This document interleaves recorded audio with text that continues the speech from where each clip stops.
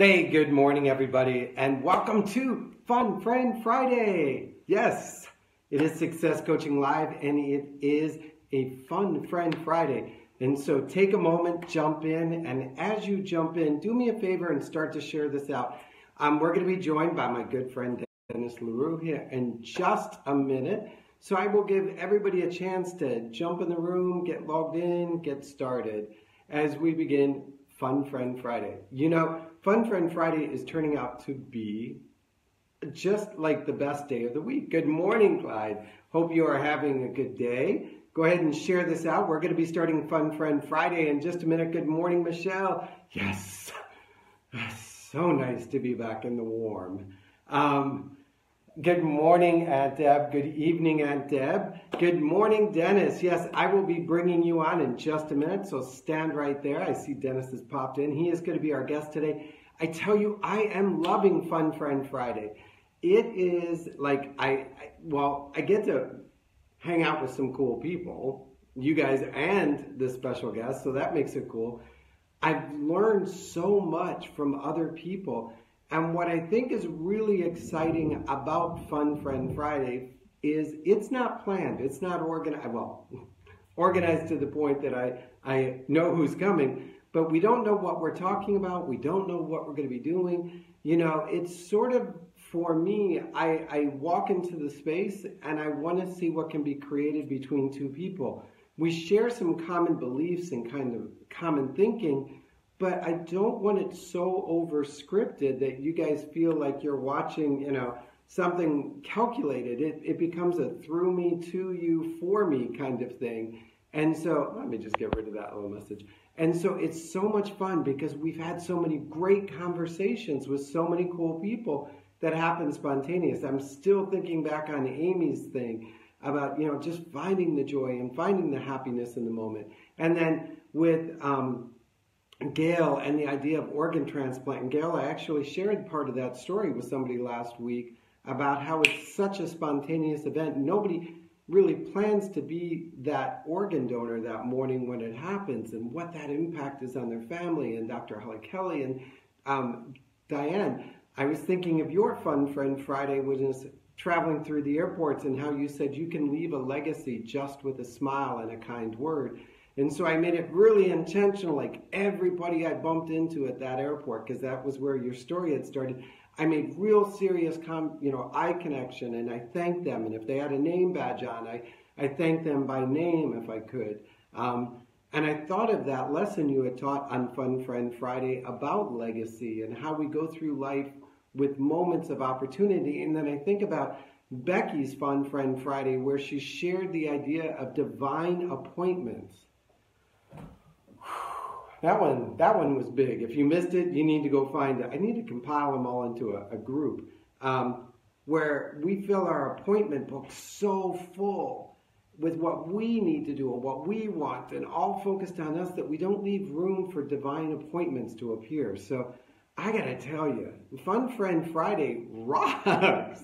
so before we get started, do me a real quick favor, share this out so everybody in your social media gets to meet my friend, Dennis LaRue.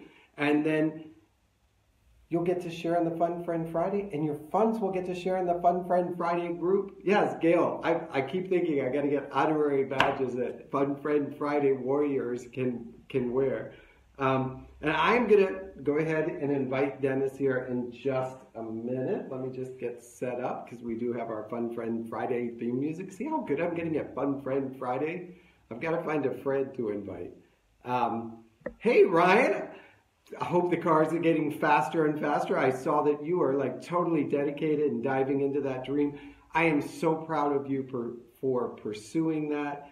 Um, my friend Ryan Hagar um, has taken the idea of mini cars and he is working on leadership and developing young boys through working on mini cars and mini car racing and the whole sport that it is as sort of a mentorship tool and leadership development tool in a way of him giving back to his community. And I, I think it's really cool. And when I say mini cars, I'm not talking the Mini Cooper cars. I'm talking like little cars the size of, you know, like car, chairs, dinner chairs. So Um, really fun. Go check him out. He's got a fun page. I'm going to go ahead and try and invite Dennis. So let me just see if I can do that. Um, boom.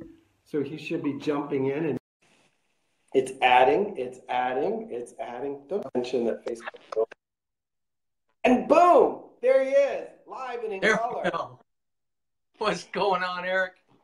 Not much, but we have to do our music. I forgot to cue the music.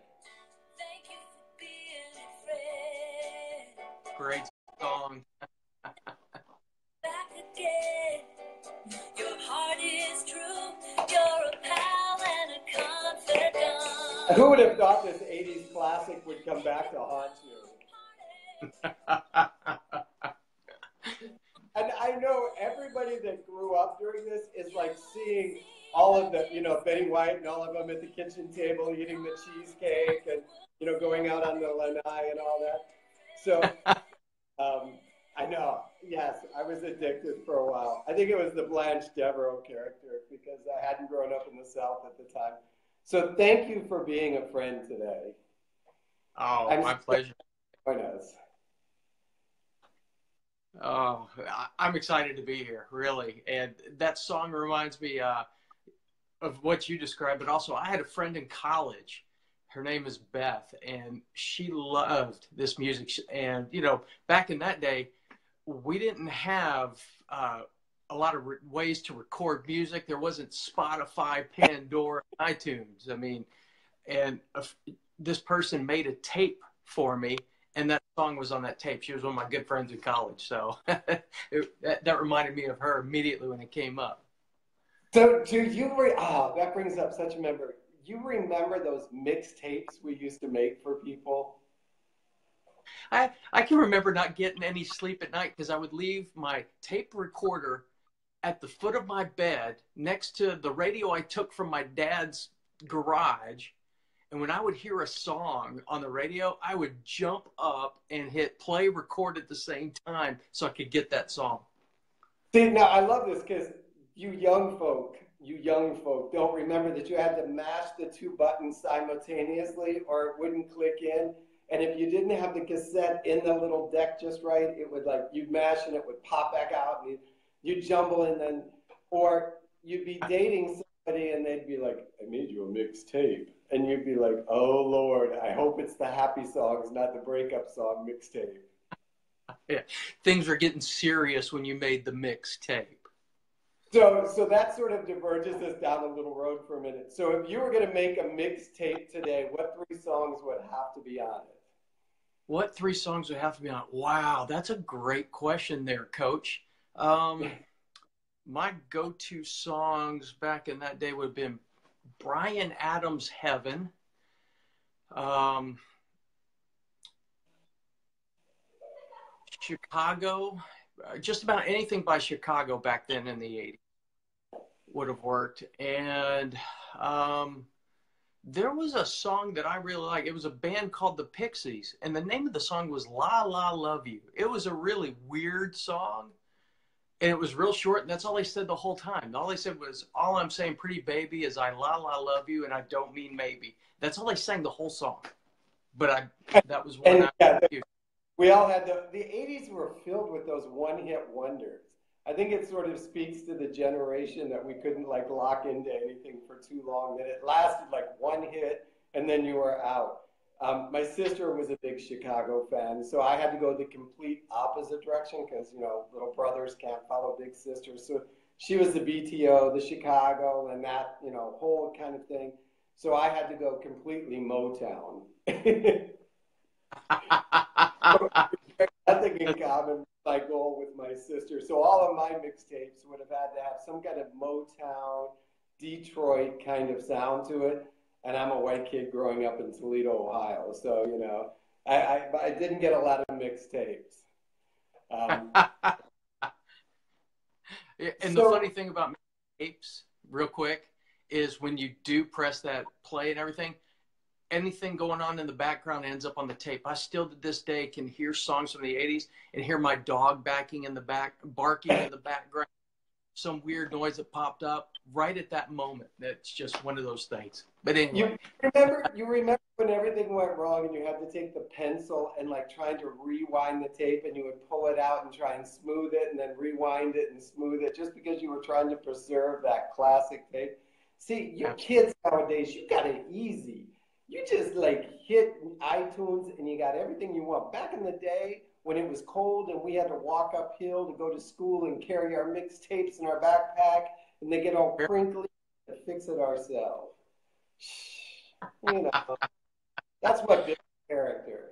That's what built mixtapes and, and CDs and eight tracks. And I never quite had to do the big Blu-rays. That went through really fast. Well, we to let everybody know, we kind of spent time together in Paraguay. You were in Paraguay with the John Maxwell team, yes? I was the first trip I was there. Absolutely. Oh my, what a what a life changing moment. I was going to ask when you arrived. So at that point, I had already been in South America, so I kind of had been tempered into South America and understanding our the South America, Paraguay, Uruguay culture. What was the like first impression stepping off the plane? First impression stepping off the plane. Well, it was really dark and humid. Now I'm retired Air Force, so oh. I actually spent um, I, my very first deployment in the Air Force was to to Panama City, Panama, down just in Panama. So I remember just from being down there, the, the humidity, but I also remember just the a, a, tropical smell. That was the first thing I really remember was the the the humidity, kind of a tropic type of smell, and just the feeling of excitement when I got off the plane and I knew, okay, you're not in Kansas anymore. you, you're in South America. You're in Paraguay, and there was also that excitement of the reason why we were there. So all of my senses were buzzing. I, I felt like just everything was squirrel, squirrel, squirrel, squirrel. So, and for those that may not know, so John Maxwell team had been invited by the president of Paraguay through our friend Gabby who was going to transform Paraguay. The goal was that if we achieve 10% of the population educated on core values and beliefs, that we could transform a country because of the tipping. So 200 and some of us jumped on planes from literally all around the world, descended on Paraguay and began teaching and coaching and guiding, really doing trainer, trainers training trainers um, to be able to go out into their communities, their businesses, their places of uh, government and hospitals and really begin to teach values. What was when you stepped in that classroom for the first moment and you you pulled out the book and the if if you were there you'll remember we had the little bookmark cards and our little our little train the trainer kit. Oh, well, I had the privilege of being with my friend, fellow uh, John Maxwell team member Jay Johnson. We've we've known each other since my last few years of my military days. So we were side by side and, and worked together, and we had made up a plan to um, to how we would would start. And I remember walking in that room thinking, okay, I was made for this. And then they told me who was in the room, and there was a little bit of nervousness. I had political leaders in our room. We were in a liberal arts kind of a building. Um, and when we walked in there, said, "Oh, and the people in the room are the current political party leadership." And I thought, "Oh my goodness." wow, talk about being thrown to the wolves right off the bat. I mean, imagine being sent to Washington D.C. or sent somewhere, and they they tell you, "Oh, and by the way, the current Democratic or Republican or whatever leaders are the first people you're you're spending time with and teaching values." It was at first just kind of like, wow. And then the second moment was, what an opportunity to impact the country right off the bat, hitting right at an area that is so critical, political, the political parties. And from there, it just embraced the moment, jumped in, and and had some fun with them. And, and Christian, Christian Del Rosario, the, our photographer, he showed up there first and got some great pictures and video clips of us in that moment. And some of the pictures I posted on my profile are from that moment, actually. Yeah, it's. Um, I think back on that, and one of the rooms that I was teaching in were the postal workers, and they um, had actually not been paid for I think several months because of government shutdowns and strikes and things, but they were still working. And during it, if you remember, we had rain like every day. I mean, you would wake up in the morning and you would see Noah's Ark past your hotel room, um, kind of thing. And they had been, a group of them had been relocated by the, out of the, the barrio and into the new apartments down by the river, which were now flooding to the second story. And they still showed up and sat through that class. And I'm thinking, you haven't been paid in months, your housing is being flooded. Like, I would have come up with a thousand re- reasons not to attend another government led program as we were perceived in certain rooms. And when I stepped into that room and they were so hungry and so engaged and so committed to taking like down every word that I said, man, I was ready to go for another three weeks if they had asked. Yeah, you got that right, and that's great perspective that you brought in because um, I had a group. I had the DAs and the ADAs also, and the lead DA, my translator tells me, "Oh, I mean, she was uh, she was about six feet tall. Um, she was wearing this electric blue dress. I love the color blue, so it stood out. And she had these eyes that and command presence about her. She had that co- great combination of command and control at the same time. And uh, my interpreter said." oh, I recognize her. She's on the radio all the time and she talks about the really big cases. So she's a well known personality besides being the, the uh, DA. And she came up to me and the interpreter's there and she basically said, okay, look, I don't have a lot of um, uh, hope for you guys here. Basically, she's saying, I have high expectations. Enjoy your hour, but don't get connected. And I'm thinking, oh my, law and order, dunk, dunk. What am I going to do?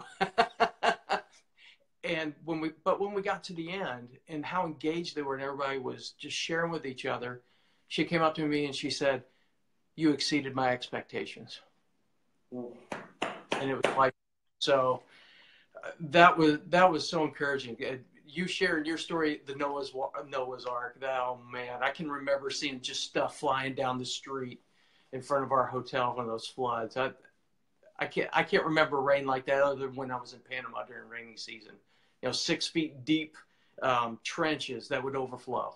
It, it was, we complain about rain here in San Antonio, you know, because nothing sticks down here when it rains. Oh my.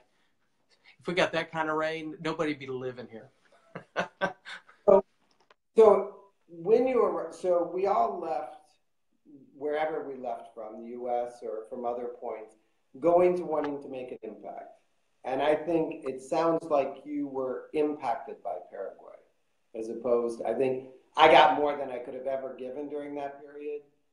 What is it that when you came back, you said, I can't let this go. I can't lose sight of this lesson. This lesson has to hold on after Paraguay. Mm. You know, two things stand out. Um, one of our last nights there, um, I met with, I guess she was in charge of kind of like the, the healthcare administrator for the entire country. Her name's Carolina Aquino. And I was there with um, our folks from Australia. It, it, it, was kind of funny. There were four of us. So it was a Texan and three Australians. It sounded like a, a barroom joke right off the bat with the. and um, we were at we were at the break, and Carolina came up to me and she put her arms on my shoulders and she looked me right in the eye and she said, Dennis, you are an answer to my dream. And that floored me in that moment.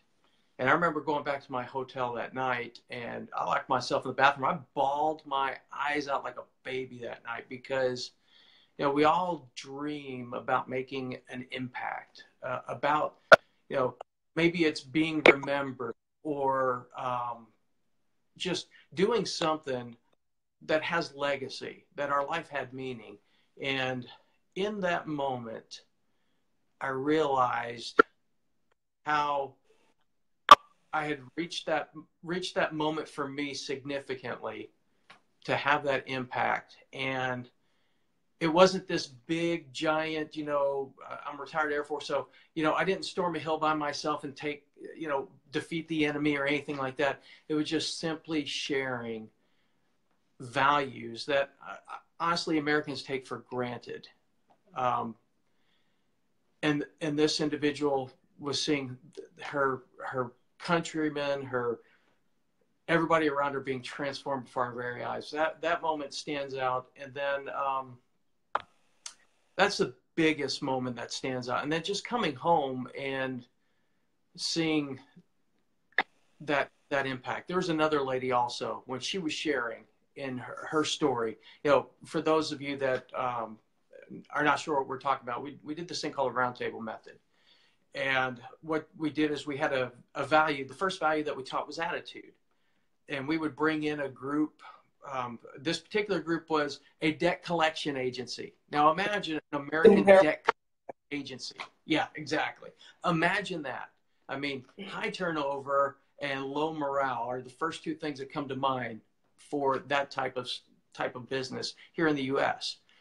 And this place had, and I was there with Nathan Cook, and this place yeah. had the most incredible.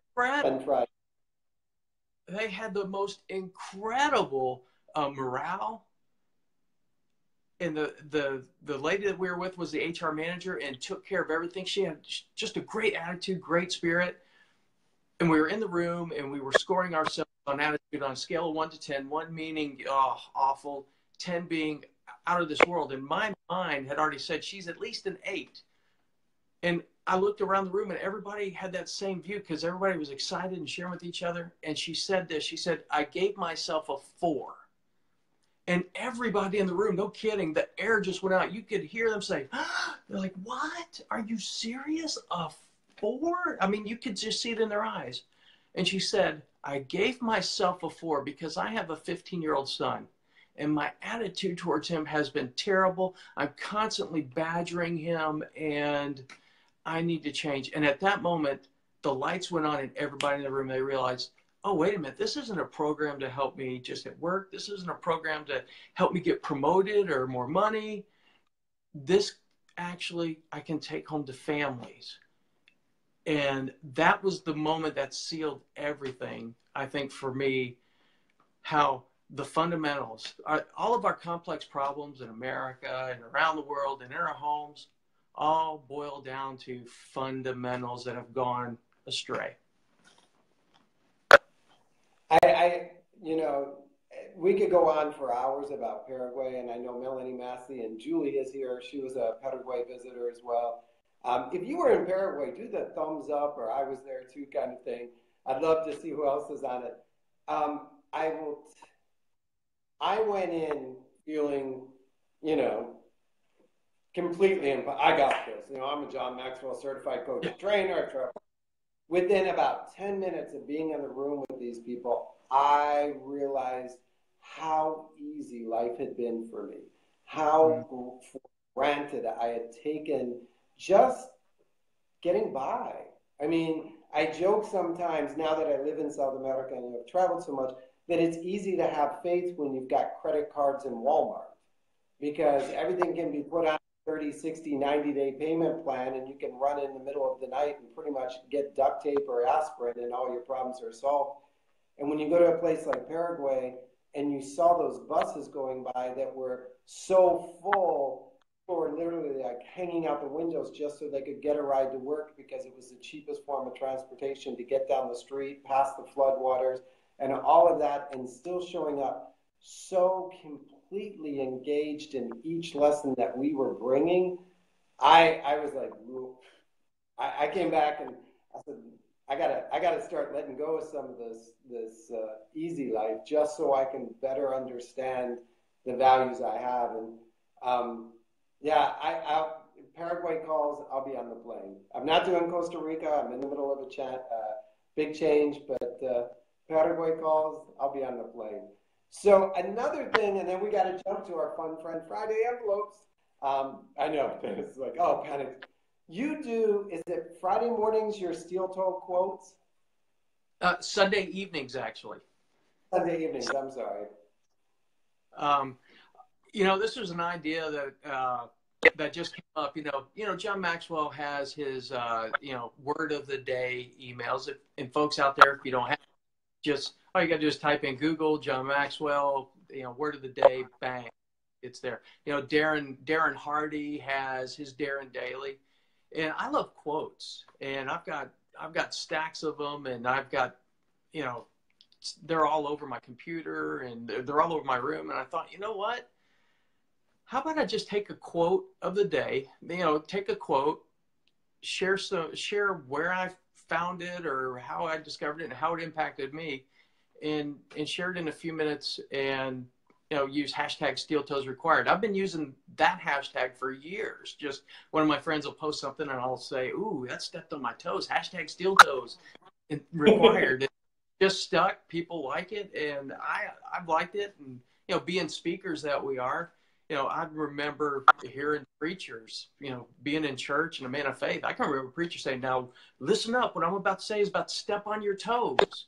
Meaning you're not going to like what I'm about to say, or it's going to make you uncomfortable. It's going to poke you. It's going to prod you. It's going to get you out of your comfort zone. We coaches like to say. So, um, so I just I just jumped and did it. I, I grabbed a few quotes and said, you know, and I did it on Sundays because Sunday is the recognized first day of the week.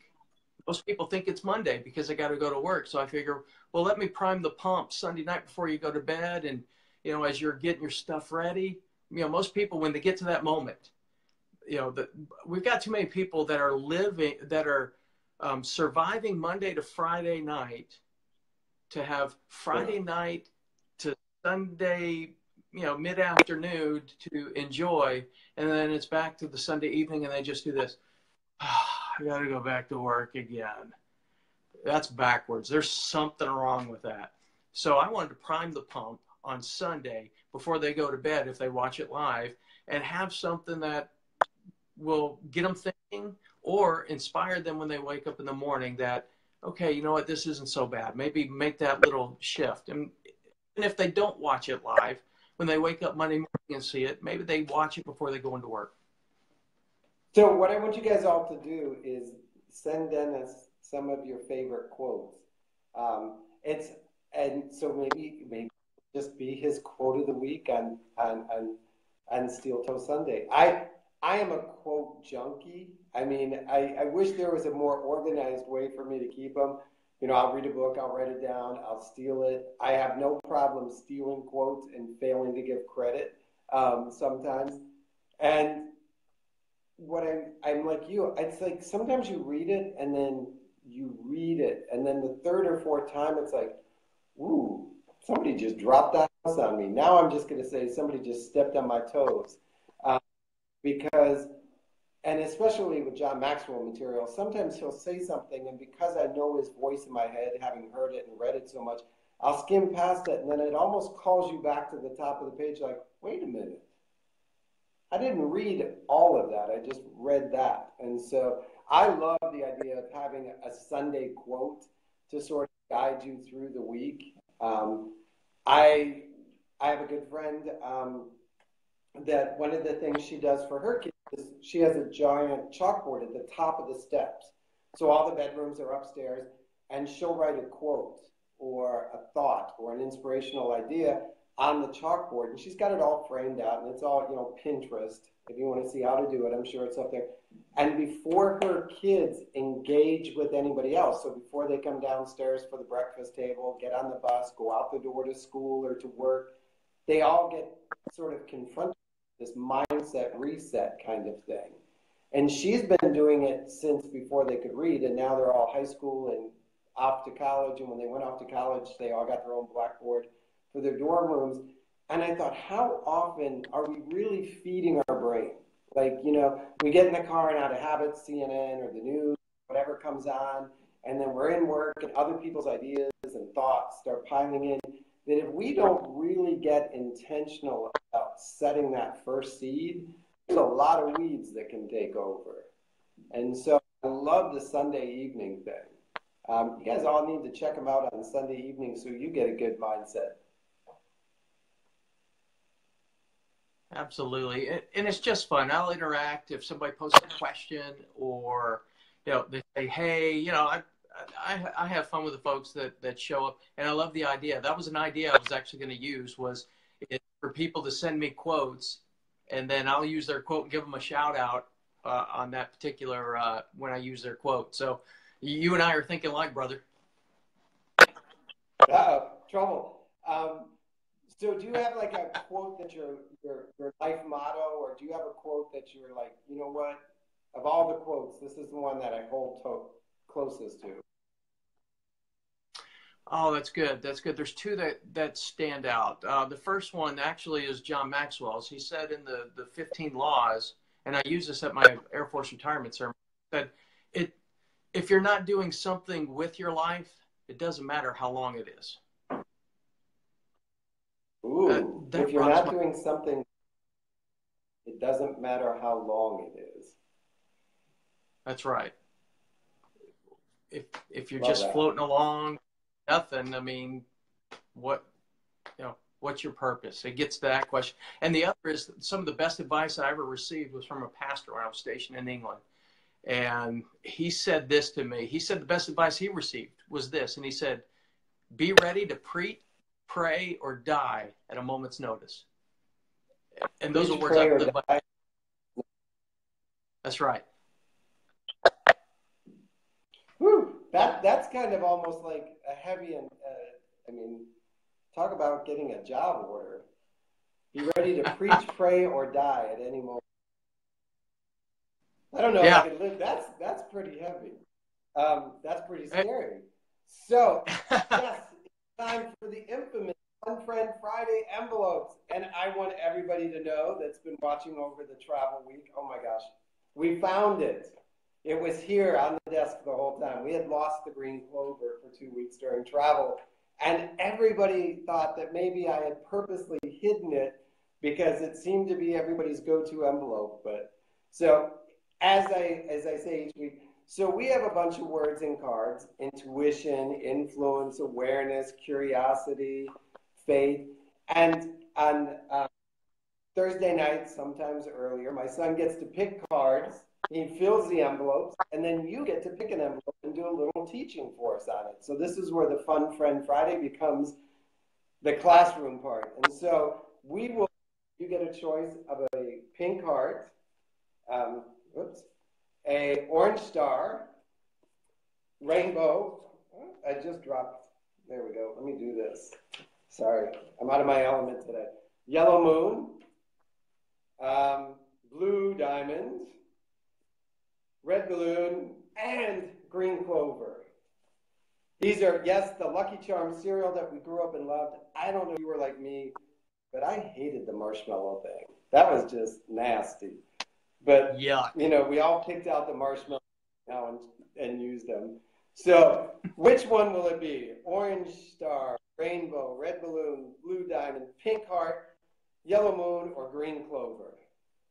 Let's go with the yellow moon. That's what popped in my head as you were going through them. So I want to follow my intuition and go with yellow moon. So I don't know, you don't know, nobody knows what's in it. And in the tr- tradition, ooh, this is good.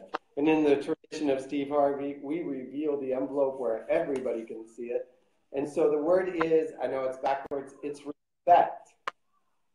Respect. Wow. You know, you know that quote, be ready to preach, prayer, die at a moment's notice. This is how I apply that. Being ready to speak at a moment's notice, impromptu and, and having fun. So that that's one of the applications of, of that particular verse. You don't have to take that to its literal uh, meaning. So here we got respect you know, we were just talking about old songs, R E S P E C T. Everybody wants to be respected. and that's and you know what? The biggest, um, my my Popeye. Uh, that's all I can stand. I can't stand no more. Is when I'm disrespected. I can't stand to be disrespected. I can take almost anything else but being disrespected is I, I won't tolerate that. Um, so respect is huge. Think of it from a leadership perspective. If you don't respect your leader, if you walk in and, and you, you know, they're not a person of character, they they are they are the do as I say, not as I do type of leadership, where they will never um, lend a hand or or be involved in any of the projects that they give you, and they've got the been there, done that mindset. Or if you've seen the movie Band of Brothers, there's a lieutenant in there who constantly, when everybody else is getting shot with mortar, when something comes up and it's a tough question, he walks away. And he had the reputation for being, he had a reputation where he was not respected by anybody. And his senior non commissioned officer had to work desperately to ensure that the unit maintained their, their bearing, they maintained their discipline, and at the same time gave the lieutenant the respect he earned due to his rank, not the person. And I, I tell you, re- respect. What does that look like? What does that look like to you? It could be with your kids. It could be as simple as a yes, ma'am, yes, sir, no, ma'am, no, sir. I'm in the South. Thank you and please are respectful. If you're at work, it's do not only showing up, it's showing up. It's doing the job. When the boss asks you to do something, you may not understand it and you may not agree with it and you may not even see the big picture on why you do it. But if you're an employee, you do it because that's your leader and they ask. That's part so of I, your job. I think one of the points that you bring out is that so often, especially in companies, we try and have this culture of respect. And as Dave McClellan uh, is in his modeling of working with corporations, it's really it has to be a behavior. first.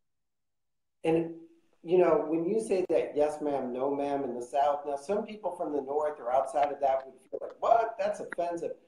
But as somebody who grew up in Minnesota, lived in Georgia, I heard that and I had the same reaction. Now raising my son, I'm asking for that yes or no, sir, not because I want to be, you know, mean and stern and captain, but I simply want the acknowledgement that what I said was heard.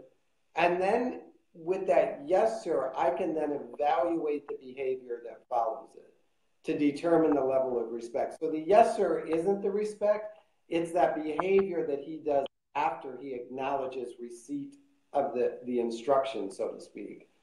And so I love how you, you said that, you know, in the military, there's positional leadership. He is there because we have trusted his decision making process.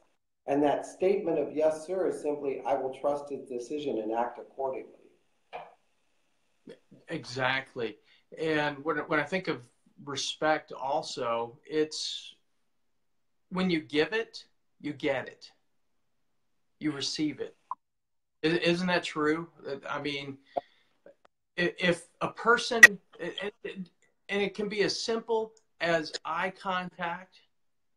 It could be the tone in the way you say yes or no, sir.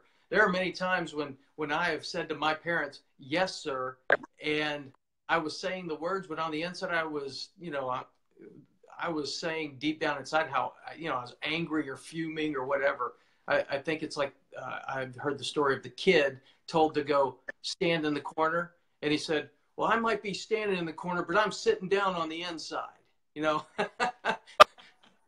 fact isn't just an action; it's it's internalized, and people can tell by your energy. They can tell by the way you say things. They can tell by the way that you look at them whether you truly respect them or not. And it goes to John's principle. If you treat people with a 10 over their head, how are they going to respond? they're going to respond in a different way than if you gave them a two.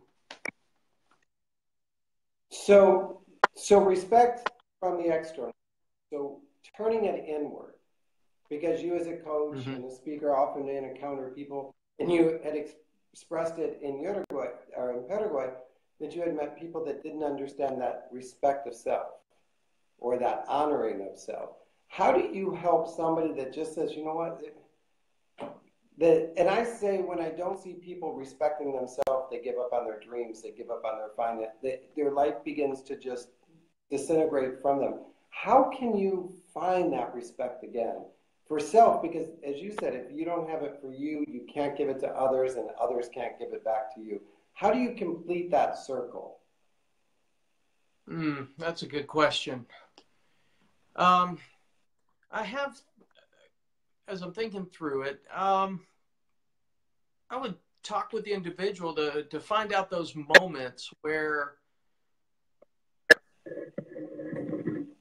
where they where they received you know maybe it's an affirmation sometimes we we for our respect sometimes when we get that affirmation especially self-worth self-respect when somebody praises you for something it could be as simple as you know going back to elementary school and you got six gold stars for spelling all of your words right um, if you're athletic, maybe you won an event at your at your kid in field day or hit a game-winning basket in basketball. Go back to a sporting event that where you you did something well, even if it's as simple as making starting team at some point or making the varsity team, where you had to work hard, and that and then take it to that moment when the coach said, announce your name on the varsity team or announce your name in the starting five in basketball or um, you competed in something and you won or you gave it your best and you came in second and you weren't even expected to place I, I go back to my eighth grade and i was goof off in in school i was a class clown i mean i was one of those kids that I rose to the level of expectation of my teachers. So the teachers that pushed me, I excelled. And for the teachers, because I was a goof off, thought, you know, this kid's not going to do anything, I lived up to their expectation in class. And I remember um, my grades were awful in my history class. I was just lazy. Honestly, I was lazy. But I remember my parents, uh, my parents said, hey, you're in danger of failing. And if you fail, you're in trouble. But if you pass, we're going to give you 50 bucks. Now, guys, 50 bucks doesn't sound like a lot, but to a 13 year old in the 80s, 50 bucks was a mint. That's like me. a couple dozen. Exactly. And so what I did is I studied. I did something new for the first time. I studied. I wasn't relying on talent or memory. I actually studied. And when we did after this test, um, our grades came back. I had the highest grade in the class. I got a 99. And all the smart kids in the class were upset. My teacher, when she looked at it, almost had a heart attack. And my parents, they said, don't let this happen again. but I remember moment because I was validated and respected myself that, you know what, I can study and I can do this and I'm smarter. And so you know, here I am now. I'm in my 40s, and I remember something when I was 13 year old, 13 years old, because it was one of those aha moments of respecting myself and giving myself better opportunities down the road, and knew I could do it. So well, I, I think that. that's a. I love that lesson because sometimes we're in a season that it's hard to see out of. That we're going through a change. We're going through a period that it's really difficult to see sort of up and over the edge of where we're at that maybe we do need to go that third grade that you know sixth grade or you know back in time because what gave you moment of credibility of respect in the past is part of your dna and that doesn't disintegrate or go away the situation around you may feel as if you've lost it but the reality is as you said it lives in me I know that if I apply myself and it's important enough, I can not exceed my expectations, but everything around come out on top. And being able to do that, then you can turn and look at other guy that maybe is performing below the waterline and go, wait a minute. He might be in the same spot I was back the day before that history test. How do I motivate? How do I show him? How do I encourage him to step fully into what his potential is? And that's I love that because you you you show the cycle of first when we can learn to respect ourselves both in the dark and in the light, then we can look at others and go, you know what, maybe you're not in your best light right now, but I'm still going to put that 10 over your head. I'm going to show you respect. I'm going to show you, uh, I'm going to be integrous with my respect to you. Um, I know in our political climate right now, it's so easy to just bash, bash, bash against the wall and, and throw mud and talk negative and just, you know, be disrespectful.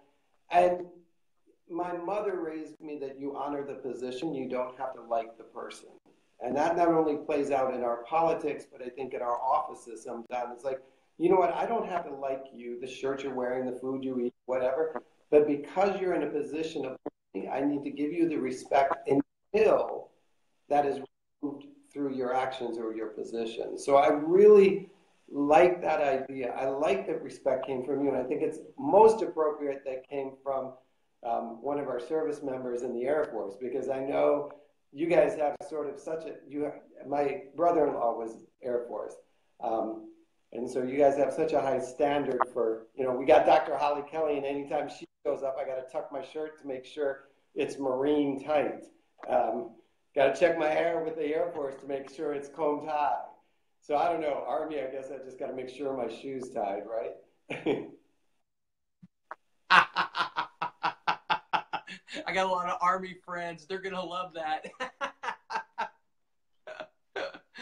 oh, well, I, I, knew you would relate to that because you know, they're, they're, I, I love our servicemen and women because there's such you know, such uh, rivalry and at the same moment such support for each other. And so it's kind of like a, unit of big brothers that always pick on each other. But when the family's called into action, you don't want to go against them no matter which group they're in. So uh, first, let me thank you for your service and traveling and the hardship that I know it caused both you and your family during that and you sticking with um, total honor. It's one of those lessons that Diane, and I see she's here, I thought of again being in the airport, and we see so many servicemen and women traveling, especially for me because of where I'm at. And I know that they're either getting deployed or coming back from a deployment, and they're trying to get through the airport to get home, and they're in uniform because they're still actively in duty while they're in uniform, and they just want to get home from their family, or they're leaving their family for the, you know, for an extended period. That I got to tell you, just oh thanks. I, mean, I was so proud to watch when I came through an airport, the ticket person take a very moment and very intentional and hold the ticket in the hand before they released it and thank that service member. And that was showing respect in a way that it wasn't just, hey, thanks for your service. I've been trained to say this.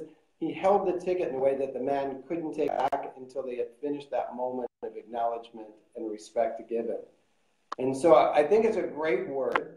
What I'd love to challenge everybody to do is really like check yourself on are you being first respectful to self? And then I always start with family. How are you respecting family?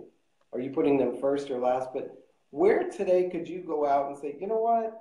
I need to up my level of, of respect. I got to start putting some tens on top of people's heads instead of trying to move them from an eight to a seven to a six to a five to a four so I can put some something up on Facebook tonight and complain about the world around me.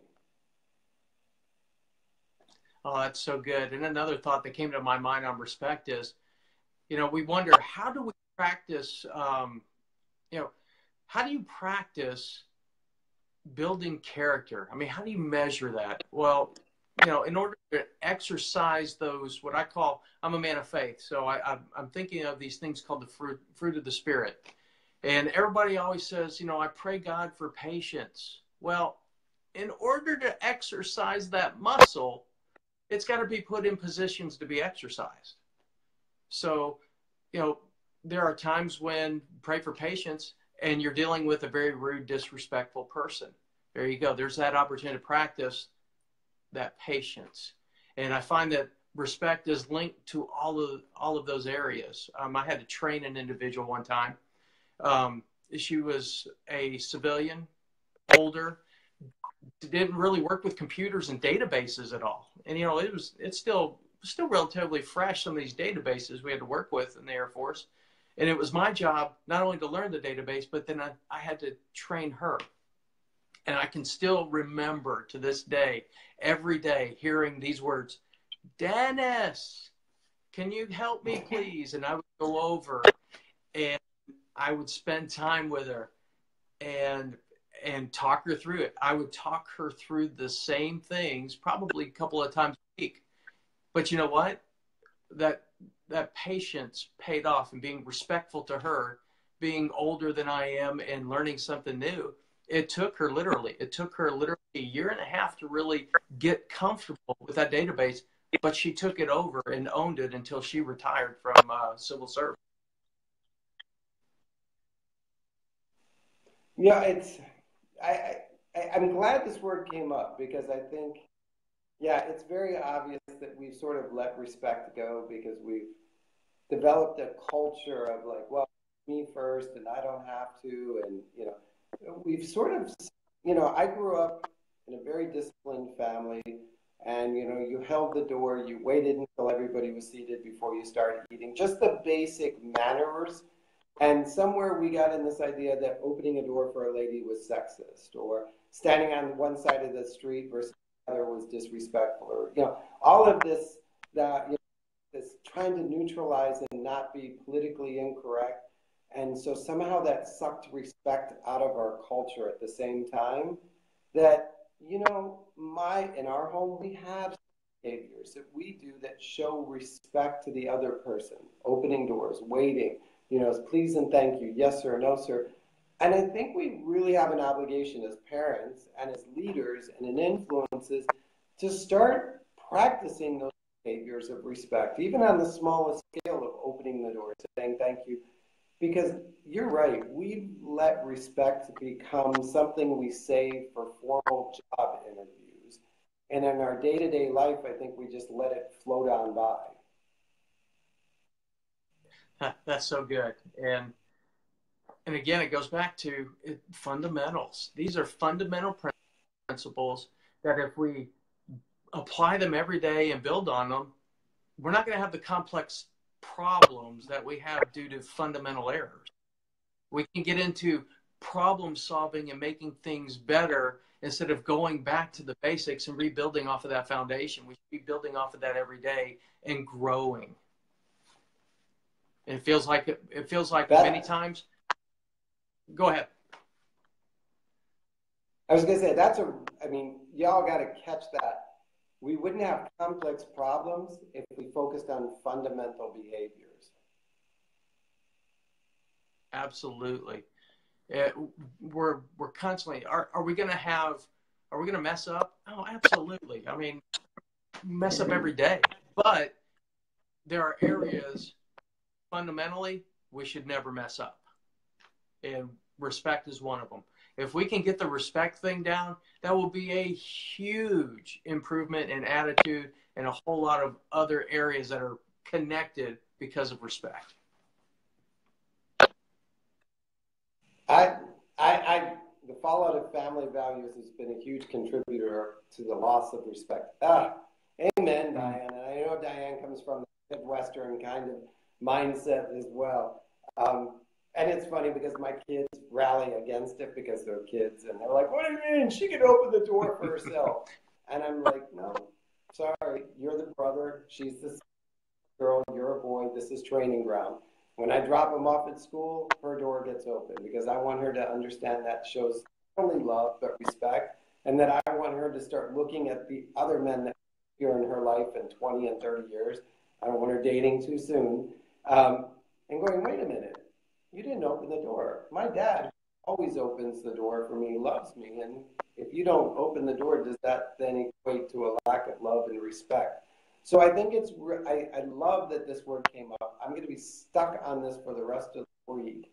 Um, I, that's what I love Friend Friday because when Becky told me about divine appointments, and I started looking out in my life for divine appointments, and now you've made me stop and think about respect and asking myself, wait a minute, how what is my how how into the game am I playing? Am I just, you know, bouncing it off at a one or two? Am I willing to commit to diving deeper and growing more in the way I display respect and live respect and, and honor people through respect?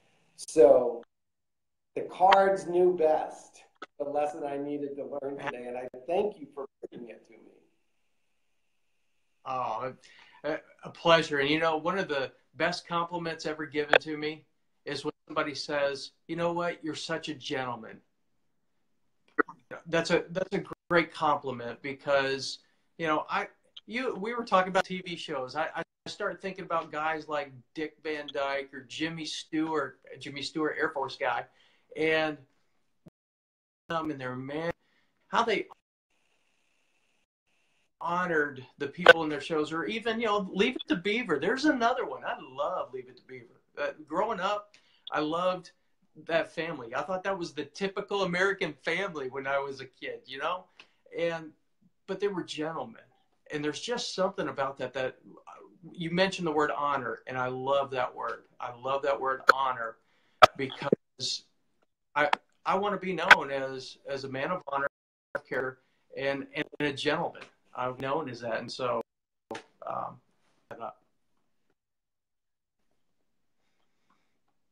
I, I love it. Yeah, I'm going to be. Not only do we have the Golden Girls, but I think we have to go listen to the Andy Griffith theme song type of thing. Um, you know, he, he amplified respect with the being the sheriff and always being of service. I see. Last week we had we had technology and confusion issues, but I think this lesson was timely and, as Melanie Massey said, a divine appointment lesson for us. And so I thank you for being here with me today. I'm going to encourage you guys all to send over your best quote, your your your your life quote if you have one to Dennis. So he can add it to his Sunday steel toe quote um, uh, webinar or Facebook Live. I'm sorry. Um, you are you doing any classes soon? Online virtual classes soon? You know, that's an area of growth for me this year. So far, since I've been a coach, um, I have not done any online or, or teleconferencing masterminds or like that. That's an area I'm growing this year. So I don't have one scheduled right now today. However, I will be, and um, and I'm not sure of the topic yet, but I oh. on personal growth because I love uh, I love spending time with people uh, especially dealing with personal growth. I like to be the cult. When you're, I, I've had this happen to me many times in my Air Force career.